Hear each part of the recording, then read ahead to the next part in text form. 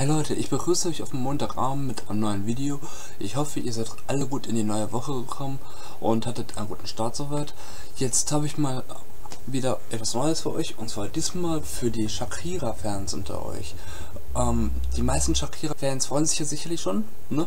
Weil bald wird Shakira ja wieder auf Tour sein. Nur leider gibt es wohl auch, wie es aussieht, eine Nachricht, die nicht ganz so schön für die Shakira-Fans sein werden.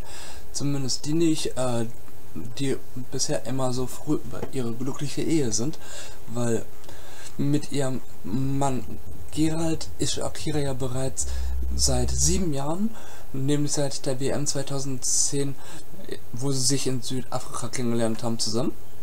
Inzwischen haben die beiden ja auch zwei Söhne, Milan und Sascha. Nur wie es aussieht, äh, gibt es jetzt wohl Trennungsgerüchte. Ähm, was genau dran ist, äh, ist wohl eher noch offen. Nur ursprünglich hat er wohl immer das Peace-Zeichen gemacht.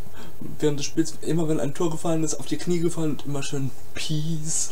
Und neuerdings zeigt er aber leider nur noch den Mittelfinger. Das werde ich jetzt hier nicht machen. Aber das soll wohl angeblich einer der Gründe sein. Ob das so stimmt oder nicht, ist immer noch eine andere Frage. Aber laut Presseberichte wohl schon. Und dazu kommt wohl auch, dass er angeblich nicht mehr in der gemeinsamen Villa wohnt. Äh, das kann natürlich durchaus bedeuten, nur da ist natürlich auch die Frage, inwieweit.